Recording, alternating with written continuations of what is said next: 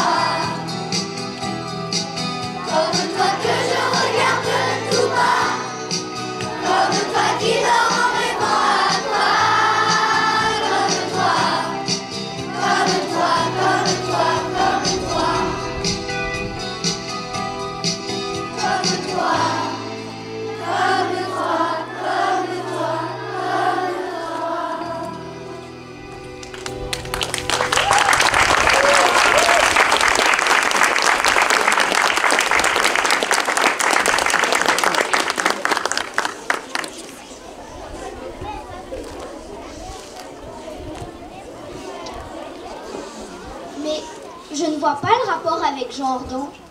Eh ben en fait, lui et sa famille ont caché et sauvé des juifs. Ah oui, c'est les justes. Oui, exactement. Des héros. Juste. Pour un jour. Juste pour la vie, oui. Bon, je pense que les grandes personnes ont d'autres choses à ajouter. C'est vrai que quand on a écouté les extraits du journal d'Anne Frank et puis la chanson, euh, tout est dit. Bien, mesdames et messieurs les élus, monsieur le directeur général des services, mesdames et messieurs les agents de la commune, monsieur le directeur de l'école élémentaire, mesdames et messieurs les professeurs euh, des écoles, monsieur Daniel Vancier, délégué de Yad Vashem, chers représentants des parents d'élèves, euh, cher Georges, notre artiste, euh, Touretane, Touretan et chers enfants. Alors permettez-moi de vous souhaiter la bienvenue euh, au, sein de cette euh, cour de l'école élémentaire de, Tourette-sur-Loup. Quelle joie, après avoir euh, essuyé quelques larmes pendant la chanson, de vous retrouver aujourd'hui dans le cadre de cette inauguration, véritable temps fort de notre commune. Alors cette cérémonie, elle, revêt pour moi un caractère tout particulier parce que ce sont les beaux souvenirs de ma jeunesse qui me reviennent à l'esprit, hein, des moments passés dans cette cour de récréation et dans ces salles de classe, parce que, eh oui, les enfants, j'étais à votre place il y a, il y a pas si longtemps. Euh, et vous le savez, j'ai un attachement profond et sincère pour notre village, un, un attachement qui, évidemment, s'est développé dès ma plus tendre enfance, notamment grâce, grâce à cette école. Je profite de ces souvenirs et de cette prise de parole pour avoir une pensée sincère pour tous les instituteurs et institutrices qui ont fait vivre cette école et qui ont instruit plusieurs générations de jeunes Tourétanes et Tourétans. Alors la première pierre de cet établissement scolaire a été posée le 17 août 1910. L'école élémentaire de Tourette-sur-Loup accueillait à l'é- à l'époque deux classes. Au lendemain de la Seconde Guerre mondiale, ces locaux se sont avérés insuffisants et dès 1955, une nouvelle classe fut créée. Puis notre école élémentaire n'a cessé de se développer et de prendre de l'importance. La mairie, qui se situait au premier étage de ce bâtiment, a été déplacée euh, au château dans le centre ancien et une cantine a vu le jour. Des extensions et des réaménagements ont- ont également été entrepris. Aujourd'hui, l'histoire de cette école élémentaire continue de s'inscrire. En effet, jusqu'à présent, notre école ne portait pas de nom. Et c'est pourquoi il a été fait le choix de la dénommer Jean Ordan, en hommage à ce Tourétan reconnu juste parmi les nations. Cette décision est le fruit du travail de la précédente municipalité et l'actuel conseil municipal que je dirige a, souhaité l'honorer. Jean Ordan ainsi que son frère Joseph et sa belle-sœur Henriette ont sauvé une famille de confession juive venue se réfugier ici même à Tourette-sur-Loup pendant la Seconde Guerre mondiale. Durant cette sombre période de l'histoire, alors que l'État français avait accepté la collaboration, des héros connus, restés anonymes, se sont mobilisés aux quatre coins du pays pour sauver des milliers d'hommes et de femmes et d'enfants persécutés en raison de leur appartenance religieuse et la liste que vous en avez faite tout à l'heure était euh, glaçante. Jean Ordan et sa famille faisaient partie de ces Français qui ont refusé de céder à la fatalité et à la tyrannie nazie. Ils avaient mis à disposition des réfugiés des cachettes sans qu'aucune compensation financière ne soit euh, demandée en, contrepartie. Et derrière la famille euh, Ordan, c'est tout un village qui fut complice. Nombre de Touretans se mobilisant pour assurer le secret et la protection de la famille Hortzmann. Ensemble, ils ont fait ce qui était juste de faire face à l'horreur des crimes commis. Et ce sont ainsi 13 personnes qui furent sauvées. Pour leur acte d'une profonde humanité, Jean, Joseph et Henriette Ordon ont été reconnus juste parmi les nations par l'Institut Yad Vashem en 2015. Et une cérémonie s'était ensuite tenue le 28 janvier 2020 à l'occasion de l'inauguration du Jardin des Justes, euh, situé juste en contrebas sur la route de Vence. Et les enfants des huit classes de l'école élémentaire avaient été présents pour euh, l'occasion. Nous avons euh, le, plaisir de recevoir aujourd'hui le, délégué départemental de Yad Vashem, Monsieur Vancier, à qui je demande de s'approcher, de venir dire quelques mots, puisque Alors il y a déjà eu Monsieur Lelouch hein, qui est venu, qui est intervenu au sein des écoles pour euh, expliquer un certain nombre de choses. Peut-être Monsieur Vancier, vous, vous pouvez nous préciser euh, quelques, quelques éléments sur euh, cette situation. Merci Monsieur le maire. Tout à l'heure, vous avez parlé, les enfants, des interdictions qu'il y avait. Je voudrais vous montrer quelque chose qui est très rare vous avez parlé du port de l'étoile jaune. C'est ceci. Vous voyez, il fallait que ce soit cousu sur la poitrine. Autrement, si vous aviez votre carte d'identité où il y avait le tampon juif et que vous n'aviez pas cette étoile, vous étiez immédiatement arrêté. Cette étoile, c'est pas la mienne. Moi, j'étais un petit enfant, un peu plus jeune que vous. Cette étoile, les enfants jusqu'à 6 ans n'étaient pas obligés de la porter, mais au-delà de 6 ans devaient la porter. Ce que je voudrais souligner, en dehors de ce qu'a dit Monsieur le maire sur le sauvetage des enfants, à Tourette-sur-Loup, ça a été un havre aussi pour certains artistes.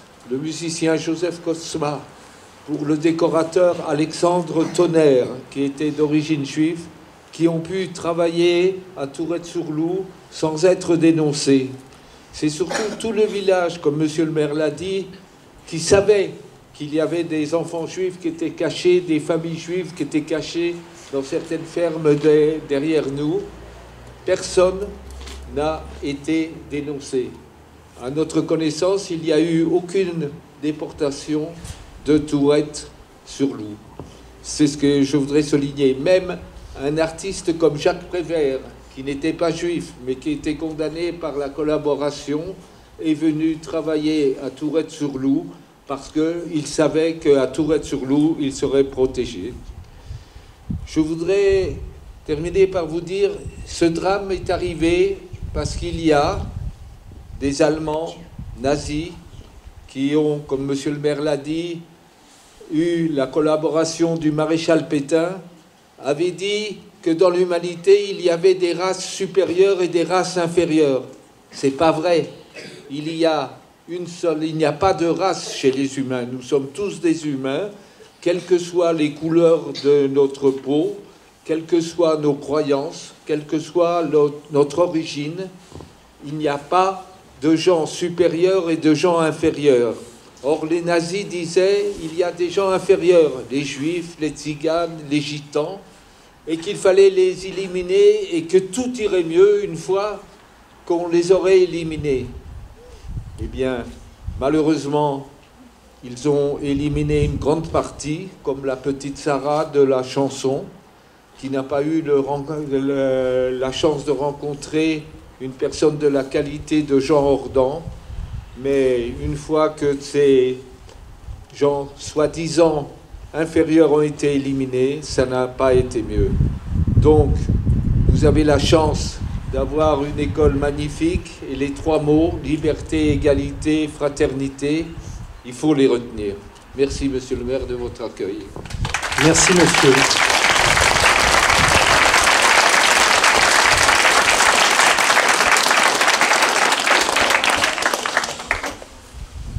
L'école est une porte ouverte sur la compréhension du monde et des peuples, tout en entretenant la paix et le bien commun. Elle a pour mission, et vous le disiez, la transmission des connaissances, des valeurs de la République, liberté, égalité, fraternité et laïcité, et ceci dans le refus de toute discrimination. Jean Ordan est donc un nom tout trouvé pour notre école élémentaire de Tourette-sur-Loup, ce nom nous rappelle l'importance de s'opposer au racisme, aux discriminations portées sur l'origine ou encore la croyance. Alors aujourd'hui, dans un côté un petit peu plus euh, festif, plus gai, nous inaugurons également la fresque réalisée par notre artiste touretane Georges Sculpteur. Cette œuvre colorée accueille depuis euh, quelques semaines les, les enfants de l'école Jean Ordan. Alors, nous avons fait le choix hein, d'une certaine unité au sein du groupe scolaire de Tourette-sur-Loup. En 2017, la commune avait déjà passé commande d'une fresque conçue par Georges pour mettre en valeur la façade de l'école maternelle. C'est maintenant au tour de l'école Jean Ordan de bénéficier de cet embellissement. Vous le voyez, hein, les contrastes, les couleurs chatoyantes et les jeux d'ombre tranchent avec le fronton de l'établissement tout en s'y intégrant parfaitement. L'œuvre d'art nous saisit alors d'une émotion forte.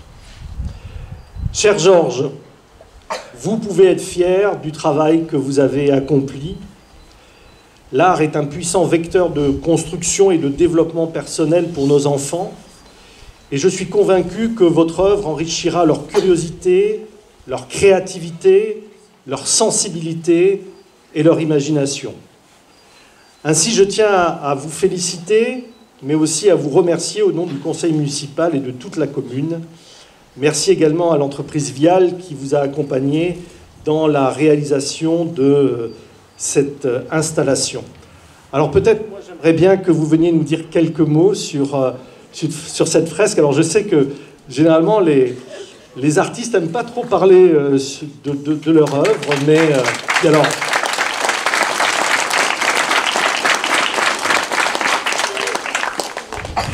Georges, c'est quelqu'un de, très humble et qui n'aime pas beaucoup parler, mais euh, elle va se faire violence.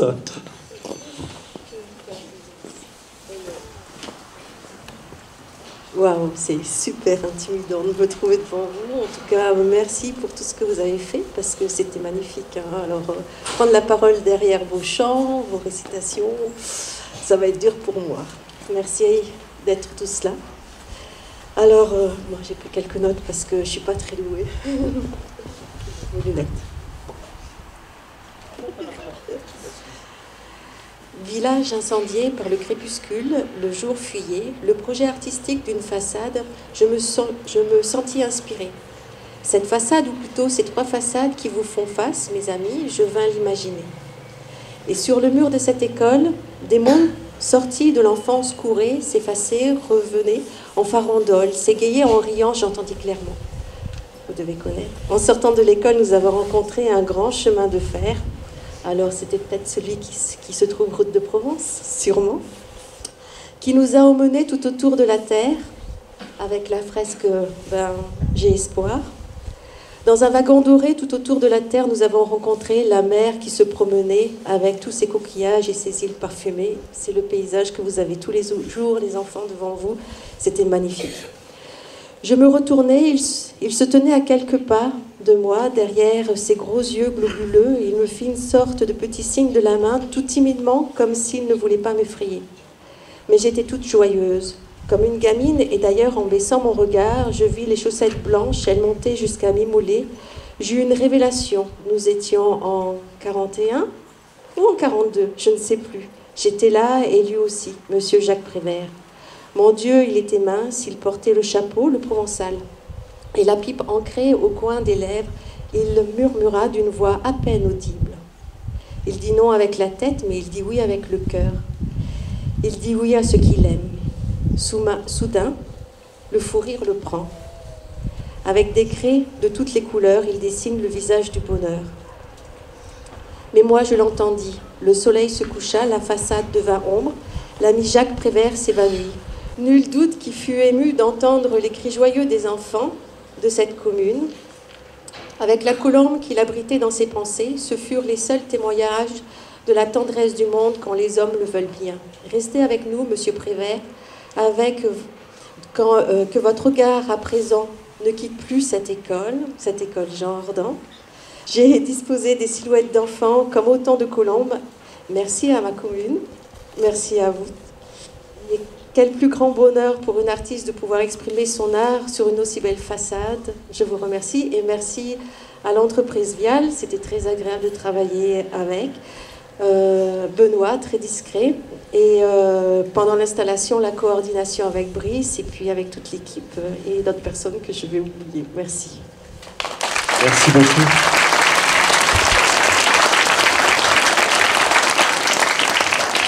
Juste avant de, clôturer cette cérémonie, je, tiens à formuler quelques remerciements. Tout d'abord, je souhaite remercier le, directeur de l'école. Merci, euh, Monsieur Lebellec, pour tout ce que vous avez fait pour aujourd'hui d'une manière générale, tout ce que vous faites. oui, mais bien sûr, c'est pour cet établissement. Et je pense que vous avez laissé un souvenir impérissable auprès des enfants. et aussi chez, nous.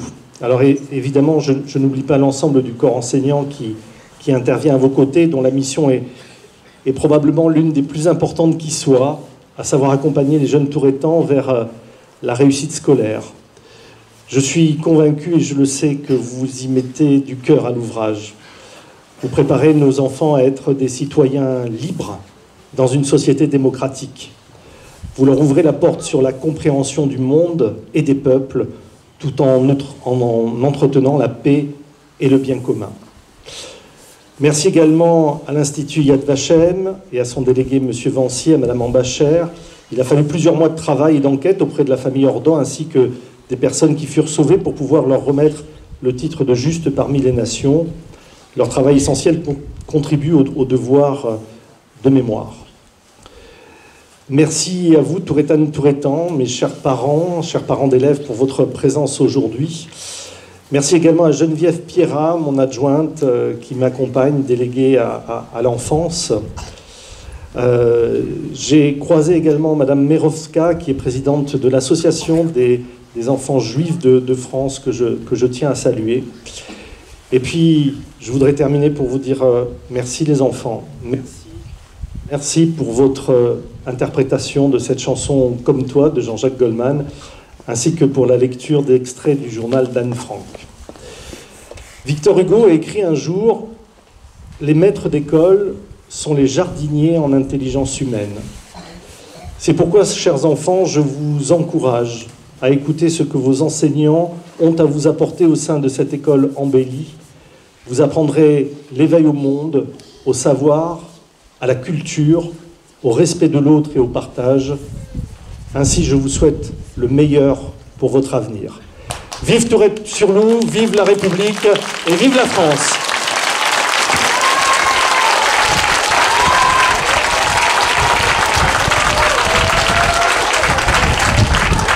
Vous êtes prêts pour rechanter les enfants?